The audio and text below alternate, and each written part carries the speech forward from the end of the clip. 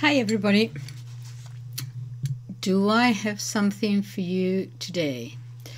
As George Galloway says, fasten your seatbelts. Listen, it's about, first of all, you know that I have dealt with this issue before uh, because I am a translator, and uh, sometimes I have told you before about different things that the actual translation of a word into another language, the official translation sometimes because of cultural resonances and so on does not carry the full meaning that it had in the original. Such word is the word patria. Okay, which in Latin and in the Latin languages has a certain connotation. Now, this word is translated sometimes as fatherland or motherland or homeland. But I would argue that none of those three actually carry the full meaning. Certainly not fatherland, although some countries may be more comfortable translating it as such. Uh, because fatherland, father is power, is looking at your nation as uh, in terms of power or being more powerful than others and so on. Motherland is much closer because his mother is a loving relationship that you have with the country you were born in. Homeland could be that, but it's a little bit dry. The, the, the meaning would be like home. Home, like, you know, your home, your family, your relatives, that place of safety and security that it should be that place that you love where you feel comfortable is that is that it has that kind of um, meaning. Perhaps a good translation would be just home, my home country. The the meaning there is in home, something okay.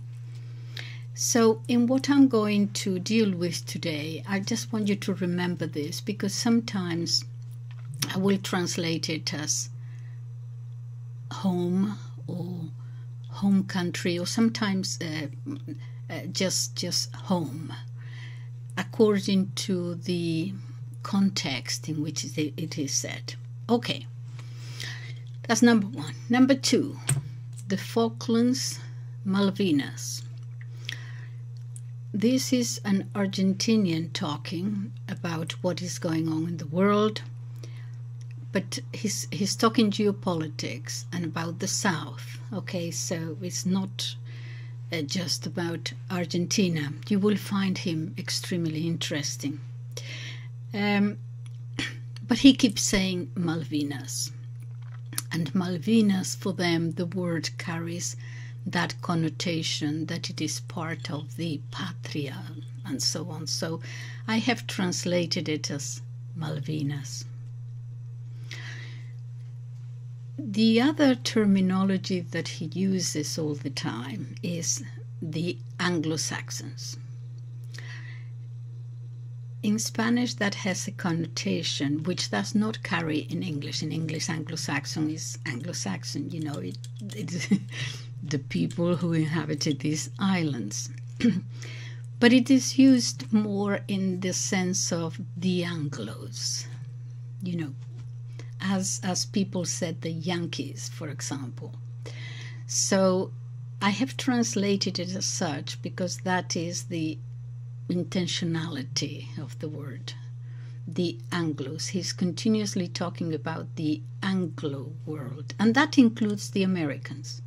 But to say the English speaking world does not carry that thing. So I am telling you, so I trans, I'm, I'm translating it as Anglos.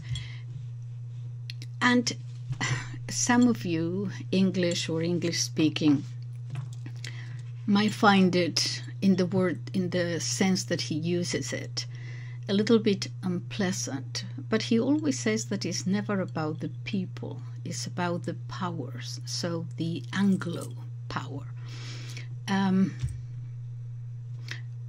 okay, so um, don't be offended because. All right, uh, what else do I have?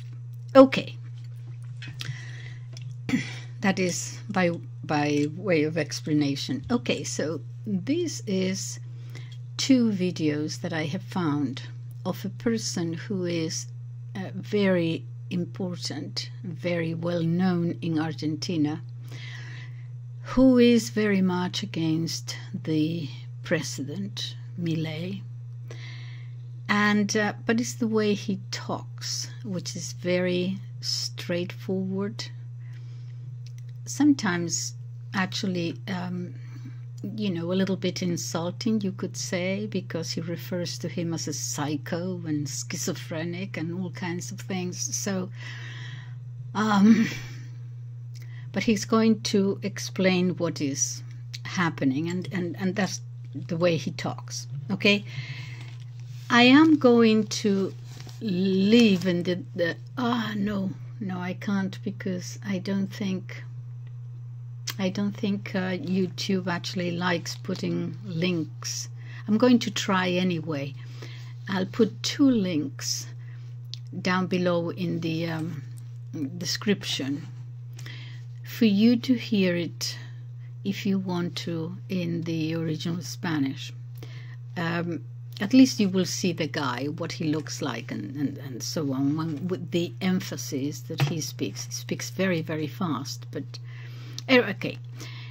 So uh, the reason I'm going to share this with you is just I was rather worried and disconcerted yesterday because I heard, I think it was in two or three places, different places, that, and this has not been confirmed, I don't think, but that that um, Russia well, obviously, uh, you know what happened that uh, Russia had called the ambassadors uh, of uh, the UK and the American ambassadors to tell them that if they continue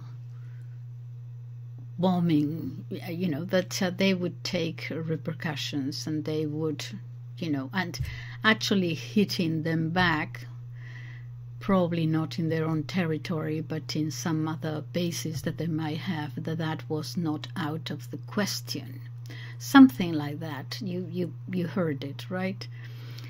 Um, so in two or three videos, I heard that they were actually considering hitting in retaliation for the UK uh, actions, that they were considering three places. I don't know whether they got this from, but one was the Falklands, another one was Gibraltar, and another one was Cyprus. And I said, that's crazy. That cannot be. Well, obviously, first of all, these were. Um, they were reporting from some telegram uh, channels and things Obviously, this could, could not be confirmed, but, but apparently there was one British newspaper, they said, and they didn't give the name, that actually carried that story too. So, anyway, but I thought obviously the Russians would not say if they're going to hit something what they're going to hit. So, where did they get this from? but in any case, I considered it important and worrying and uh, all that. I didn't think that Gibraltar would be a possibility. Being right there in Europe, I Cyprus, I don't think, but perhaps they have uh, something to do with the Middle East. I don't know what is happening there so I I thought that um, the Falklands thing could, if they were going to attack somewhere, um, could be within the realm of possibility. I hope not. I hope not. It was perhaps, I don't know. But anyway, because of that, I thought, well, perhaps um, they are in Argentina, they've heard the same story, and uh, perhaps people are talking about it or something, you know. So I went to these channels that I use, and anyway, I saw these two interviews with this guy, and his name is Santiago Cuneo, and I will put it down in the uh, in the uh, description box. Okay. Now, he is at times actually funny, but uh, let me let me start. Um, in one of the questions referring to this report, to to the fact that Russia and China might eventually come if there was a problem there in the Falklands. That Russia and certainly Russia um, um, and China could come to the aid somehow, whatever that aid might be, of Argentina in this case, um, would be within the realm of possibility. And uh, he says, um, the Russians and the Chinese, of course, um, they know very well that there is oil in the Antarctica. And they're not going to tolerate, I don't think, a British nuclear base in the Malvinas. Now more than ever, China and Russia believe that the Malvinas are Argent belong to Argentina problem is with the Chilean people who are subject to this British colonial government that they have, and behind our backs are the English pincers that are squeezing our Pat Patagonia with a base in the Malvinas. And the Chilean armed forces, they're nothing but, um, they're nothing other than Scout boys. Boy Scouts, sorry. They're nothing but Boy Scouts for the British Crown. If you look at the map, you might wonder, look, you see Brazil, which is huge, yeah? And then you see uh, the Spanish uh, that was uh, Portuguese, yes, a Portuguese colony, and then you see all these other countries that speak Spanish. Well, initially, it wasn't like that. Initially, that South America had been divided into East and West, okay?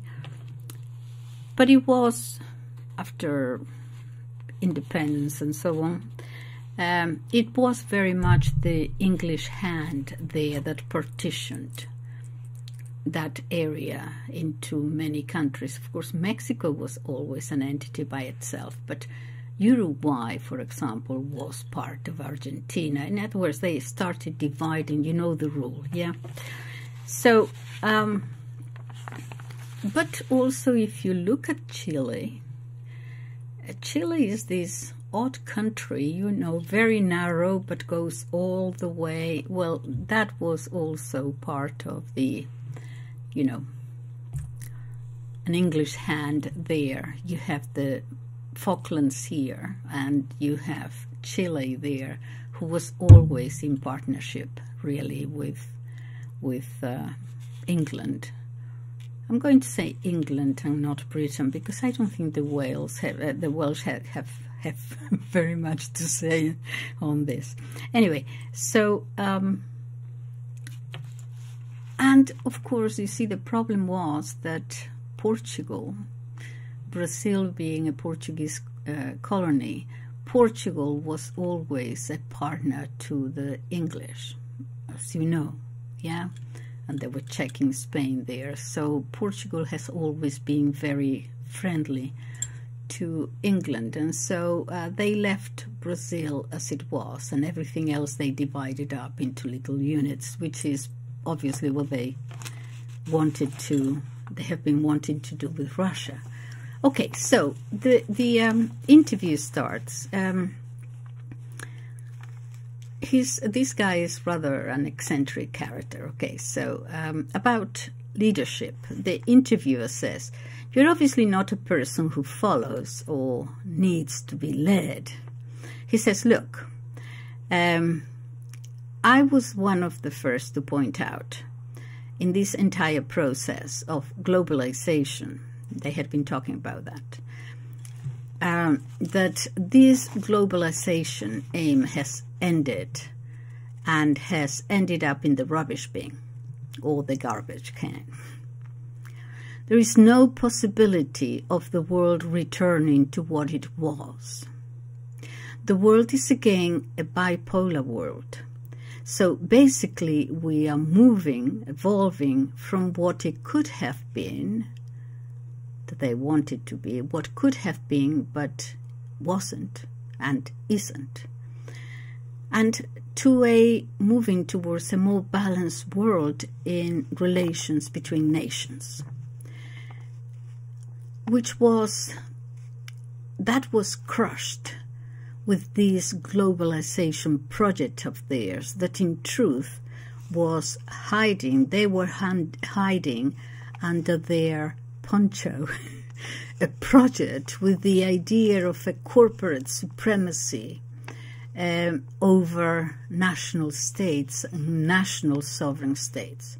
And they wanted to construct a global government, which they continue to try to build. But the world now definitely is divided into two the world of the East and the Western European sector. Russia is no longer uh, is no longer uh, a part of that. There is no possibility now of this being so.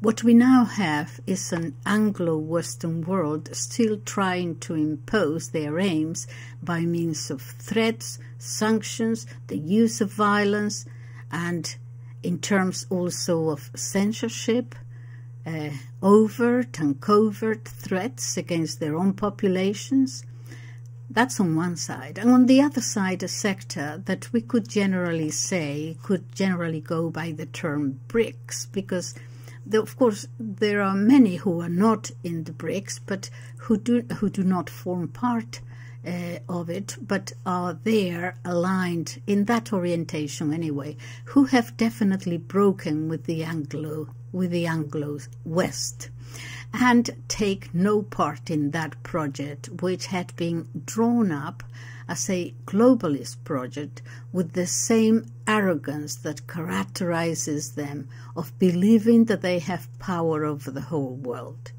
It is now clear that it is that that is not the case, and it is up to us in the south of the Americas to suffer these north-south relations once again, to be again the backyard of a colonist, colonialist project, Anglophile Freemasonry, that is advancing, unfortunately, right now, with the help, with this schizophrenic person that we have as a president today.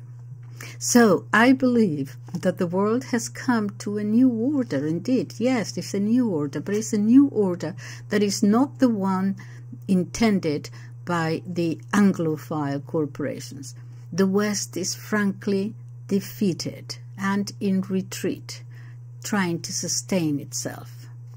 Actually, Trump told the uh, told told them the other day that the U.S. is in a checkmate situation and that they have to try to re-establish foundational basis in their own uh, of their project as a nation state. Because if this supra corporation model if this continues uh, they're going to disappear. I, I, haven't heard Trump saying that but um, and he says and I don't think he's wrong. The interviewer says what you're saying is very serious. Do you think that we are or we are stepping into World War III? We said that four years ago. I said it, that we were in the, so to say, anteroom of it. But then, of course, with the pandemic, because the beginning of hostilities was with COVID. COVID was the beginning of the hostilities at a global level. They were obvious. The the uh, it was obvious then at the time. You can check my recordings during that time. I said very clearly at the time that after the pandemic, the hot wars would start, a political reorganization. This illness was a military operation and it was developed as a preparation for the start of hostilities. And then came the response. So, what is our situation now? the interviewer says, because you see, we have the new American base now, um, Mrs. Richardson base from the US, which the President Milei has just allowed them to start constructing at the very, very bottom of Tierra del Fuego, there in the Patagonia, right at the very south. Um, so now there is a uh, an American base there, uh, from the US and also uh, in Colombia, in the Caribbean. How do you see? How do you see us? Are we sort of the ham between in the ham in the sandwich between the two? He says no. Latin America has a flagrant weakness in its territorial defense policies because it lacks the necessary military tools to be able to defend itself the progressive stupidity of Latin America, the imbecility that was carried out in terms of this misconception about our national interest, uh, which are, they say, forward, uh, forward-looking nation must defend. Uh, imagine it led that all that nonsense. It led to the disarmament and the clumsy and idiotic theory of uh, pacifism, sort of like a hippie pacifism, like something from the 60s and 70s, that type of model, you know, flying the flags of love and singing kumbaya, and this is in the middle of a hostile world, a violent world, a nuclear world and Latin America is in no position right now to defend itself. That's why we are in the situation we're in. Question Well, um, Europe is probably in the same way, kind of, uh, isn't it? Uh, you remember that pacifist Europe, that elegant Europe with good manners, um, and now culture and so on. And now they ended up being warmongers, uh, talking about going to war, bombs, getting ready for, for war. No, no, no. Europe is obviously very much unlike Latin America. They are part of NATO, and they all have, absolutely all of them, have armies with potential nuclear possibilities to defend its interests in some way. Latin America, on the other hand, has a proposal of this stupid pacifism, not real pacifism. It is obvious that you cannot live in peace if you can be invaded and violated. He uses the word, the other word, beginning with R. Uh, violated by forces foreign to your territory who, without any effort of any kind, because we are defenseless, we are naked, and they can and will abuse you. And this is pure idiocy in our part, and this is what Latin America has done, except Brazil and except Chile which have carried out a long-term defense in their own interests. Perhaps to a certain extent, a limited extent, to Venezuela, they were trying to. But uh, you know what happened, as usual. Um, they don't let us breathe. How about compulsory military service in Europe? There are countries like France and Sweden and Germany um, that are talking about conscription. Um, could this happen, something similar in Latin America? Huh, that's not worth it. that's not worth a crap. That's still thinking in terms of, you know, analog TVs or radios with a tuner and television sets with an aerial. That's stupid. That's, uh, as I said earlier, that's stupidity, idiocy, ignorance that have to do with countries that once were but no longer are. Some people remember better times on the basis of American bases now in Ushuaia, that's that one at the very bottom, um, a new one, in Rio Negro, the current strengthening of the bases in the Malvinas by the British, which is going on right now, does this represent a growing threat in the southeastern Atlantic?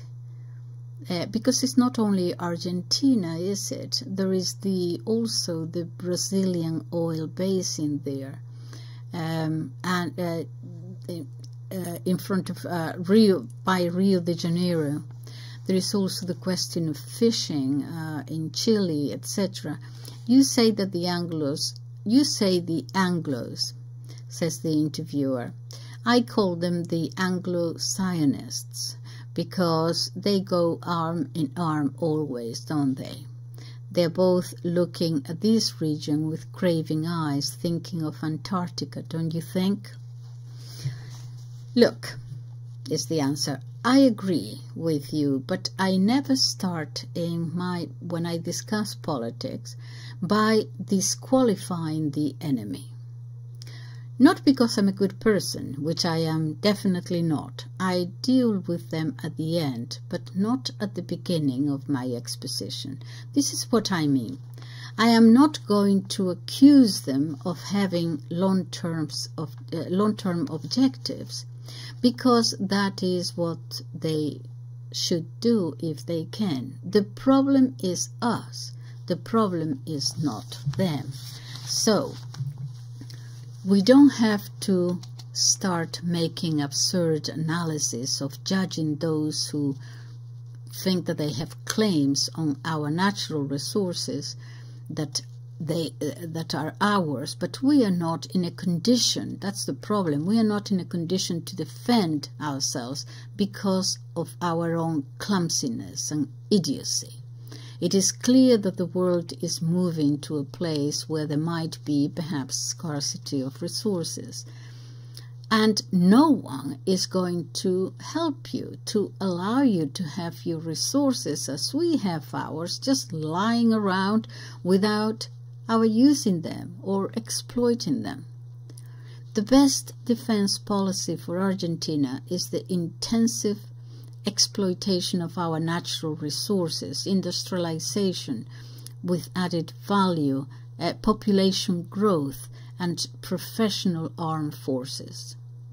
Argentina will defend itself with additional population, which we very much need, uh, with which obviously we cannot continue with just 47 million inhabitants in such a huge country as ours, we should have more than 200, 200 million to establish a territorial policy of urban development that will allow Argentina to know that its territory is inviolable because people live here, uh, not um, not an Argentina just going around regretting and crying all over the place. That, oh my God, that they crying that they're all coming to take over our things, to take our things away. Of course they're going to come and take our things away because who in their right mind can think otherwise in a world where resources for, for many countries are scarce. When we, Argentinians, are so stupid that we either give them away or not take care of them. So the first thing I disqualify is to disqualify others. No. So the first thing I disqualify is others that disqualified those people. Argentina has to have an aggressive policy of population growth, an aggressive immigration policy to quickly reach a stable and permanent population, as we had that immigration after the First and the Second World Wars. We can have an immigration post Third World War. Now, of course, how will this Third War end? Because if it ends in terms of uh, the traditional violence uh, after a war, that's one thing. But if it ends, if it ends in a nuclear scenario, obviously that's something else. There will, I'm sure, be immigration from to our country from Western European countries. There might be a wave also from the US seeking to live in a land that is not at war, a land of peace and hopefully in time prosperity. Argentina needs to have its arms open to immigration. It must have aggressive policies of industrialization and technicalization, if such a word exists, of construction of an uh, another, uh, added value chain, and afterwards, obviously, as someone say, um, after that French Revolution that it might be coming, there will be, those will be our better days. I think our better days are yet to come, but that is what we have to do. This crisis is one, but I think that after the crisis we will have a better future. I mean this. Without this crisis, Argentina would have no chance. Both Russians and Chinese now obviously know obviously that there is oil in Antarctica and they won't tolerate a nuclear base in the Malvinas. Probably now more than ever, Russia and China believe that the Malvinas are actually Argentinian. And that Argentina wants to exercise sovereignty over its islands. You know, I was looking at the map where exactly the Falklands are and so on, but you see that it's not only um, the Falklands that are there. Uh, there are many, many islands there. I don't know, they're the size of, they look like the size of rocks. They're called Shag Rock, Black Rock. They all belong to Britain more and more towards, uh, you know, away from Argentina, more and more towards the South Atlantic and to the north. But there are so many. Um, the uh, Cape Rock, the Disappointment Rock, the South Georgia Island, the Clerke Rocks, the Traverse Islands, the Candleman, Candleman, Candlemas, sorry, Candlemas Islands, Saunders Islands, South Sun, South Sandwich Islands.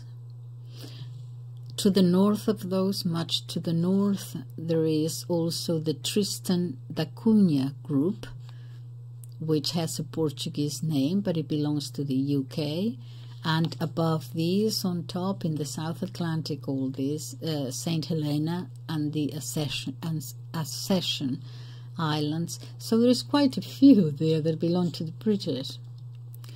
Um, anyway he says uh, we're beginning to find powerful partners for our sovereignty claims.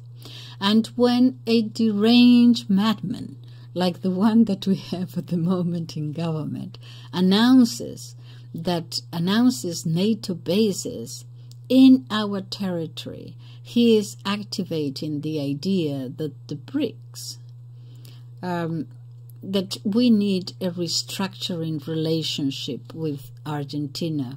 that they might think that that uh, they need a sort of a, a restructuring relationship with Argentina, so that this does not happen, and they may give us a hand in reestablishment in reestablishing our geopolitical relationship with the world.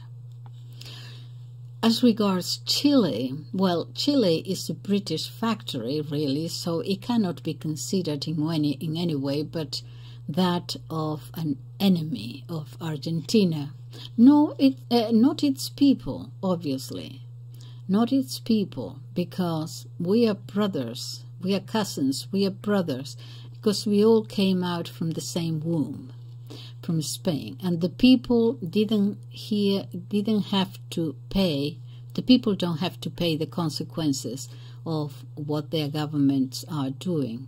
We in Argentina, we were also governed by Videla, one of the uh, generals, the dictatorship.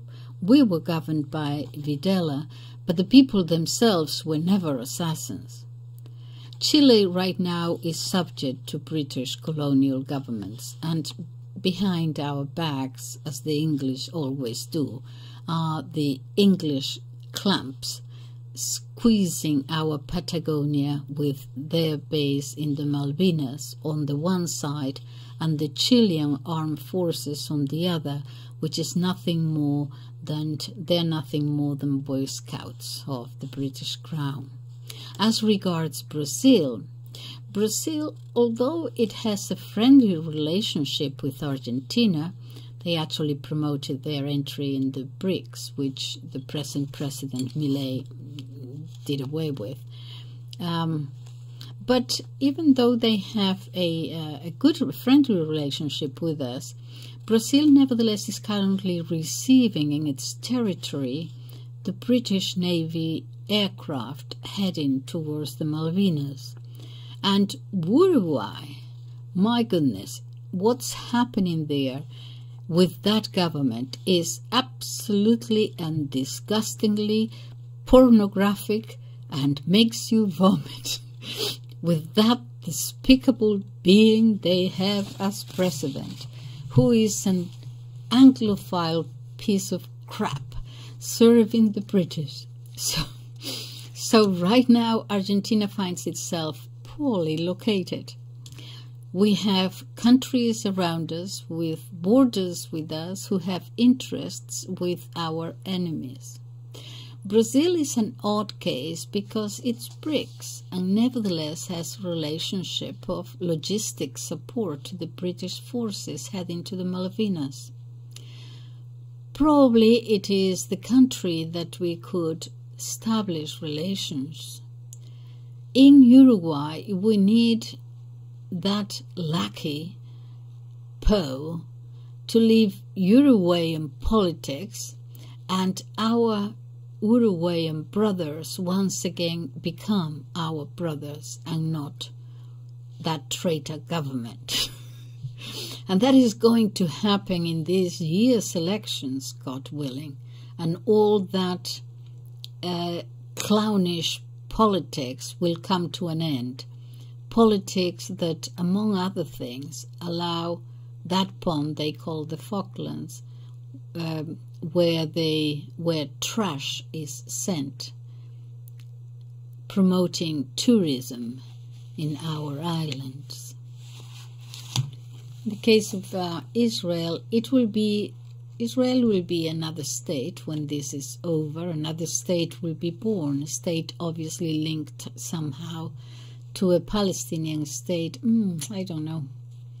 I don't think Israel will ever accept uh, a Palestinian state. I, I just don't think so. But anyway, he says uh, somehow to a Palestinian, a link to a Palestinian state that is going to, that is what, what is going to emerge. It is emerging many nations are demanding now uh, as an actual and real fact and there is going and, and there is going to stop Israel being an aircraft carrier for the US in the Middle East and from there to for being in the Middle East to be an Israel of the Middle East. It is not, hopefully, it will not be led by the Zionist ultra right of Netanyahu, but hopefully, perhaps, return to that vision of the Prime Minister who was assassinated by those assassins who was trying and he was trying to find peace with Palestine. Perhaps that genocidal arrogance of the Anglo imperialism, let us remember that those maniacs have direct links with the English. But I think they're going to be busy keeping their own place. They have no operational capacity, possible connection. The truth is that after this third war, the interests of each nation are going to be centered on survival, each one in its own home. There will be no time to think about plunder except, of course, for the superpowers. And the superpowers are still very far, though they don't want to, but they're still very far from be becoming a club of crazy dudes with delirious plans. The people of the world are going to defend their own hearth the best way they can in a dark world, a grey world, with perhaps few resources and with a very tough post war in economic matters that these pirates and delinquents brought to us all. If Argentina is intelligent and plays its cards right, it might be willing to accept immigration from all parts of the planet. It must be properly aligned in military terms and must begin the reconstruction of a patria that must be a federation, as I have continuously argued, because of its territorial extensity, like all other geographically big nations similar to ours, the US, Russia, Brazil to just stand there and cry that other people are taking what is ours and that they shouldn't because it's ours, that doesn't take you anywhere.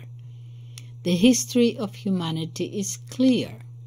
To defend what is yours, you must have the ability to be independent and make its own, your own decisions and be able to enforce them. And if we continue to go around crying and lamenting ourselves away. We have already failed. I'm not willing to fail. I am not going to fail. Let us remember that the delirious dream of a group of billionaire crazies, that dream that they have, is not the dream of the peoples of the world. We are not the assassins. The people of each nation are not the government they have to endure. Israel now suffers a bunch of murdered who must be tried, convicted, and in a Nuremberg trial on the massacre of Palestinians. In our case, right now, they're taking from from us, they're taking lithium, drinking water, all the fishing. There is no stupid conspiracy theories here. These are facts. You can see them. They are simply doing, what they're simply doing is plundering us. And what to, we have to do is to be in a position to prevent it. Question, but what are we to do about our own indigenous ruling class, all corrupt? For the last 200 years. They've been with the Brits fully in, fully in with the British project. They're all the same in most of our countries here. Peron once said, speaking of the traitor ruling classes, the cho- I had the choice of killing them or letting the, or letting pass, uh, letting time pass. I chose time. And 18 years later, he said, I was wrong. I should have got rid of all of them long ago.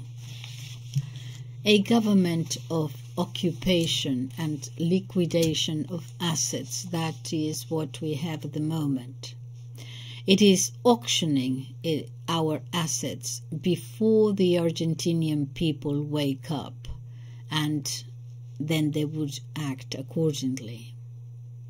And they come and talk about peace, sure, the peace of a cemetery. Peaceful because there is no one living there. Among a global crisis uh, called the Third World War, Argentina is simply listed as a populated territory ready to be looted.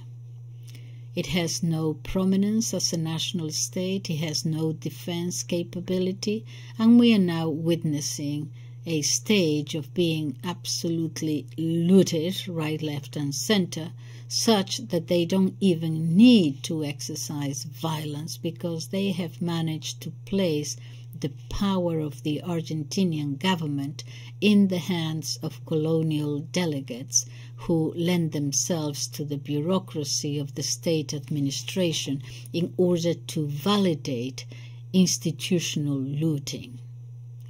We, Argentina, we are an unfinished project.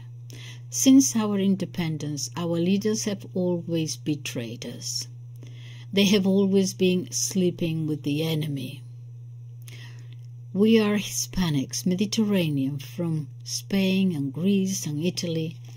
We have our Hispanic roots well marked, but com combined with easily with our native peoples.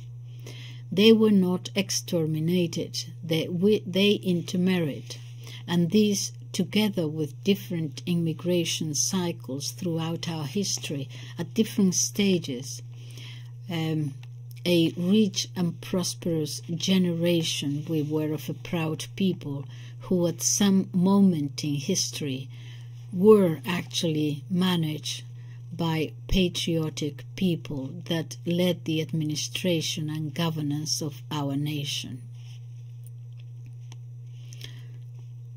But they have been plundering us. Let me give you an example with the arrogance that they have done uh, with which they did so. In the house, uh, the mansion that uh, Peron used to have, they bombed it and destroyed it completely, and they bombed it with aircraft where you could read, Christ lives. False flagging us, false flagging the nation. But it wasn't us, it was them. them. And you know what they did?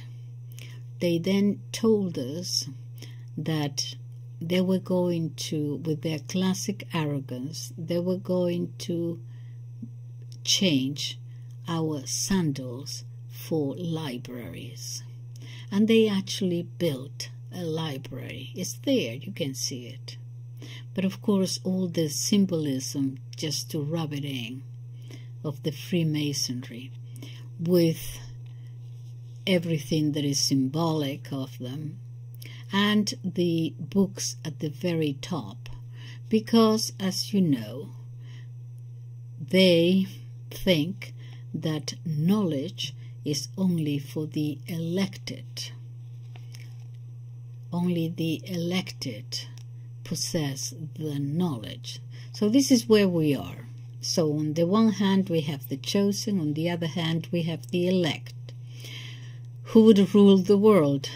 Birds of a feather. These are Crime and assassins. Hmm? They did not tolerate the people electing their own leaders, building a homeland for themselves. We were trying to build our nation, but continuously uh, interruptions, coup d'etat, uh, which obviously under their under their poncho brought the financing of the Anglo world. It was difficult for them until uh, it at, at first it was difficult for them until the Malvinas Malvinas was not a war, it was a battle in 1982. And the war goes on. When politics fails, they resort to war. It's either the force of reason that we have to choose, either the force of reason or a reason for force. And these terms, uh, we in these terms, we fought a battle that resulted in the determined actions of the Anglo world to deal with us, that led the founda- to the foundations and consequences of what has been happening in Argentina from 1982 onwards. You remember that promise of President Alfonsín. He said that they were bringing us democracy, and he told us it was rather a clumsy promise. He said, democracy, within a democracy, you eat, you heal, and you educate. And in this way, and with these nice words, surrendered Argentina and subjugated it to the precarious state of a little village without any vocation to be a homeland. And so from then on, we embarked on the path of resignation, giving up and giving in, led by a political class, and I say class with absolute contempt. That's what I feel for them. but even then, there were there were at the time many men and women who that had lived in previous times uh, before that, and they remembered, and they remember still. Anyway, we we're we're on this path of deterioration, and then came that is when it started, and then uh, it came the there came the trivialization of the nineties, failure in our cultural battle, and all that produce, and all that produce this effect on the Argentinian being, uh, an effect on our DNA, and we began to lose our identity. And when a nation loses its identity, one loses the reasons to fight. And if you don't understand what it is that you're fighting for, you leave the fight. So today, when it is much more it is much more difficult to explain why uh, one must fight one must fight back we have to reduce the explanation to reasons in much more simpler words a more mundane explanation if you will what i mean is explain it simply to the people to be able to attract others to our cause. Because if you go deeper into philosophical argumentations and political theories, people are not going to listen to you. They have no time. People are hungry, thirsty for justice. They need shelter, they need health, and no one who has needs which hurt you like a personal pain in your own body or that of your children. No one in that situation has time to listen to us giving them a history lesson. Nor should we have what on arrogance, the pretension that they should listen to our philosophical argumentations because they do not have time. They have to make sure that their children are being fed. Those of you listening to me right now, you and I have the possibility to sleep at night on a bed and to eat. And nowadays, that, that is almost a privilege that many of our compatriots today do not have. That is why we cannot expect the poorest to be engaged in this struggle. It is our responsibility to do it ourselves, those of us who feel we have a commitment. At least we have more choices. And let us avoid just talking to ourselves and ignoring all others, lest to become a sect, and that is something that we do not want to become. We have to open our arms to those who think differently and make room for them. And that's the way to build a gigantic majority. Argentina was being built during Perón but did not achieve victory. Again and again, our reconstruction project was interrupted. Argentina is an unfinished building, a work under construction, full of lime and sand and discarded timber. Our problem is that they never let us finish the building. There are those who say the only solution is to dynamite the whole building and start all over again because a lot of time has passed, it is old, and it is probably more expensive to remodel it than to start anew. And then we hear those saying those same versions, the, the, all those versions of those from the ruling classes who were the ones who prevented us from finishing the project in the first place, telling us that the patria, our home, is dead, finished. And then they even move on to draft the autopsy, autopsy report of our homeland. Argentina is not dead. It is in intensive care 0.4 under a reserved or guarded prognosis. That is why we cannot commit the clumsiness of arrogance, of wanting to talk to ourselves, to applaud ourselves, but rather to go out there and persuade those who have to be persuaded to join our ranks. To build our home, defend our home, which will be the roof and shelter for their children, because we are living at the moment with people who are in this country, live in this country, but have no patria. They have no sense of home. We live in the same geographical space with these uh, ruling classes. We have all been born in the same geographical space, and we have all been given the same documents. But some of us are patriots and feel for our home. The others are inhabitants without patria, without a home, without identity, without a flag, flag that they love. And all they do is to swarm around and get hold of the benefits, the profits, the advantages of uh, plundering the place they were born in. This government that we have at the moment is an occupation government. It cannot continue to govern. We must ask for the impeachment trial. You have the forms there for you to sign. Please give them for people to sign them. Um, to sign this, uh, bringing down this national government with Milei, all those plunderers. The desperation of people whose patience is now is now running out.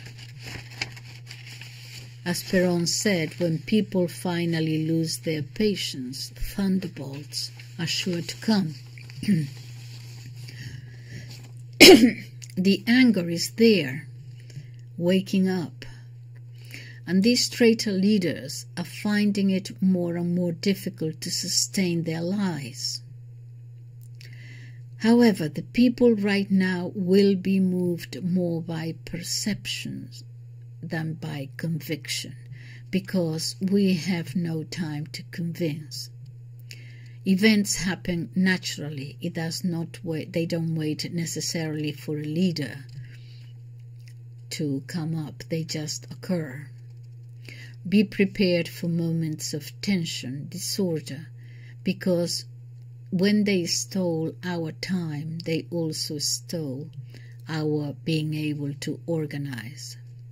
When people do not have time to go to a neighborhood meeting, a political association, their children's school meeting, the firefighters' assembly, whatever it might be, when people withdraw from social participation because they need to eat, the most primary sense of their subsistence, social cohesion then has been destroyed, and that's what's happening today.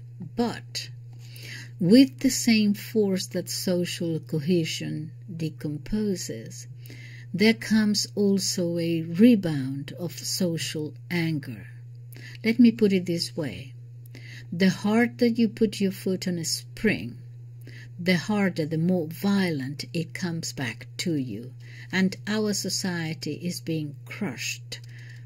But Argentina is such a spring, so that they are putting undue pressure on something that sooner or later is going to release its force, to return it to its proper place. The grey middle class, I call it grey.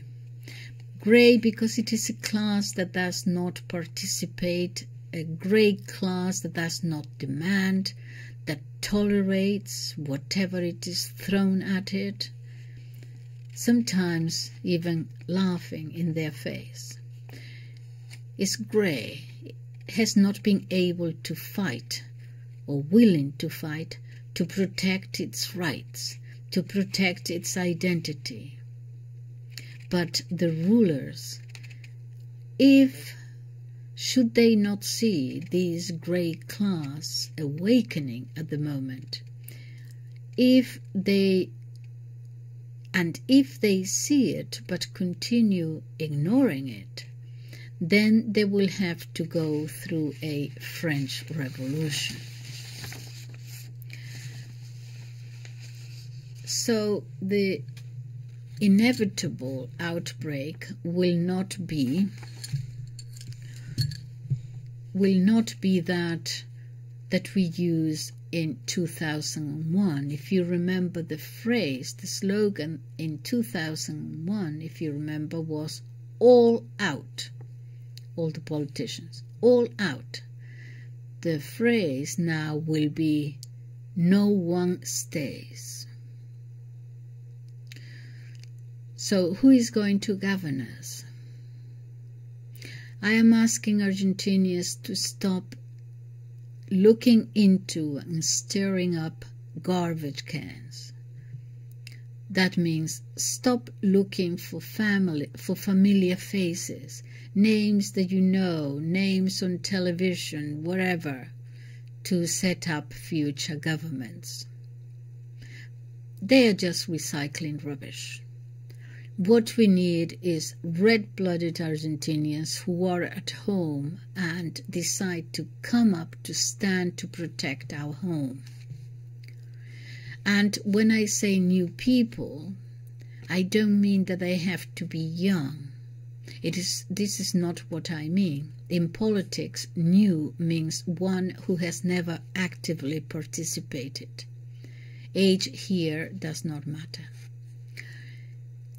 We need millions to start assuming responsibilities. Professionals, accountants, lawyers, people in trade, carpenters, greengrocers, yes. My fa my fa my father was a grocer. He goes on for a long time talking about how his father made it.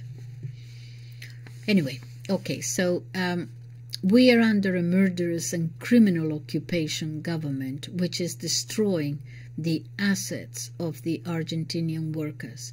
Those who see themselves as middle class, you're kidding, they have ceased to be so a long time ago.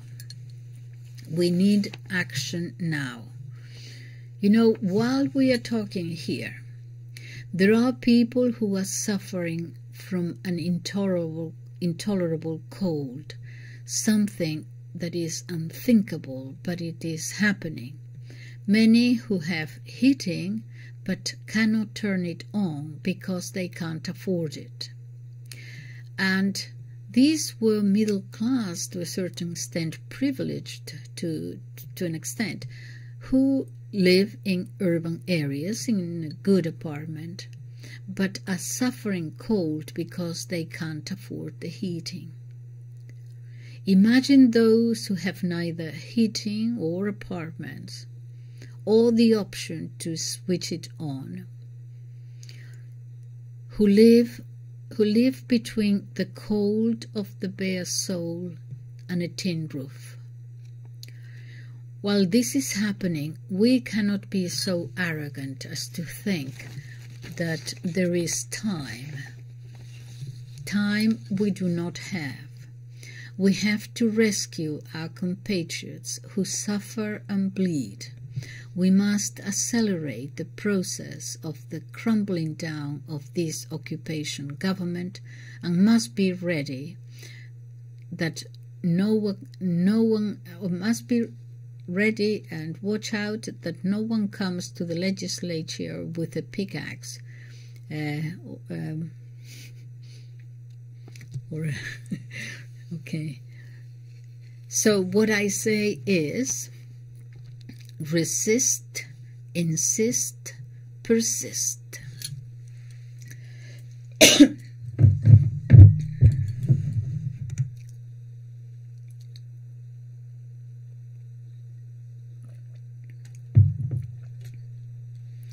About the media. The media, uh, the media at the moment um, is lying uh, saying that this is a successful government that is just starting. No, no. This government is not starting. This government is already finished, over. We have to finish this voluntary submission as a colony. When I heard that psycho he's talking about the present. When I heard that psycho answering, this is what happened. He was answering a worker who said, who came up and said to him, I can't make it to the end of the month. In other words, I can't make uh, ends meet. Um, I can't make it to the end of the month. You know what this psycho said, who should be in a mental hospital? he said, to this worker, if you couldn't make it to the end of the month, you wouldn't be here. You would be dead. That is what he said. This person should be in a psychiatric hospital. So I'm going to say this to this schizophrenic. Watch out, because many times a person will not come asking for food. He would rather take vengeance to food. And he will ask for revenge. So I would suggest to you, the schizophrenic, to start to start closing that stage of his and start running away because there is here a people who may not eat but have dignity. And you know, they are going to make it to the end of the month somehow just to make you pay.